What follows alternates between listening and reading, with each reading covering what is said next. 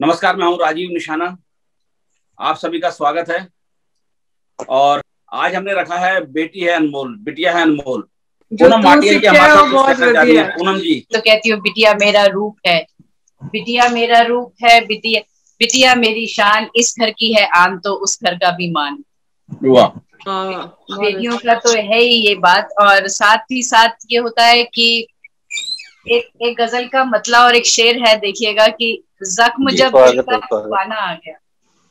जख्म जब दिल का छुपाना आ गया बेसबब भी मुस्कुराना आ गया।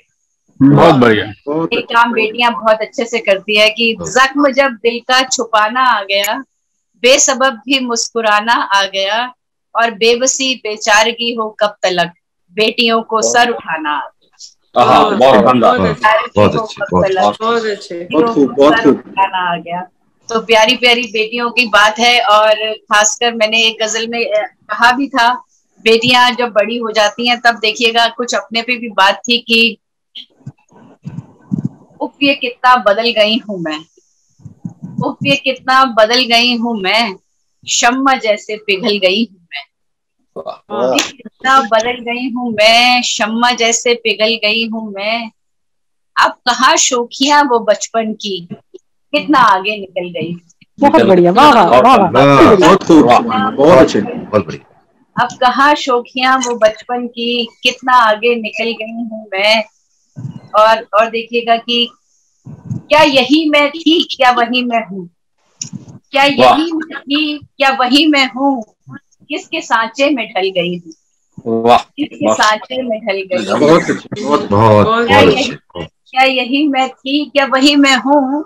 किसके पैकर में ढल गई हूँ मैं? बहुत बढ़िया बहुत बढ़िया। देखिए कि शुक्रिया अंजना तो वो एक कहते हैं कि दर्द ज़ाहिर नहीं किया करते।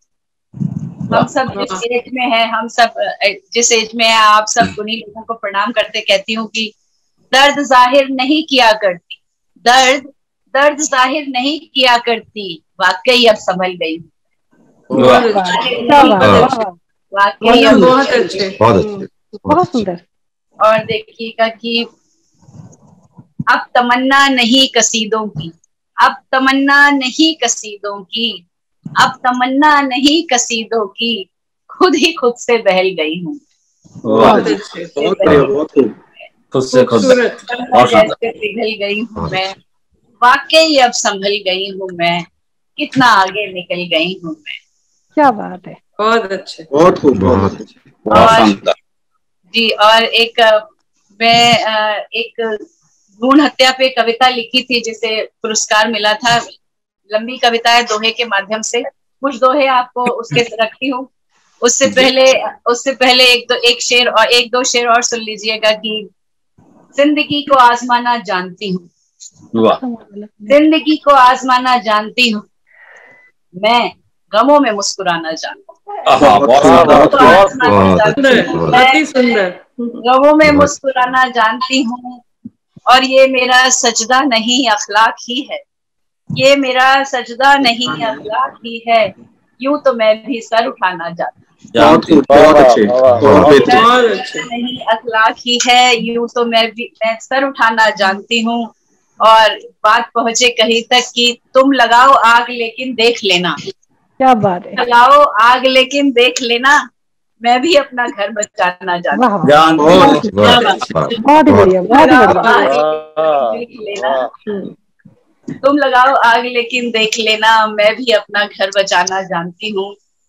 और सिर्फ़ गजलों से नहीं पूनम अमल से।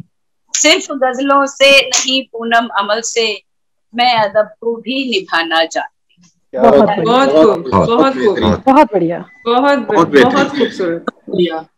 बहुत अब आप बताएँ कि मैं वो कविता पढ़ूं समय है तो पढ़ूं नहीं तो हो जाऊँ थोड़ा आपकी जी, स्वागत अगले अगले हफ़्ते सुनते हैं मेरे को लगता है। ऐसा करते हैं।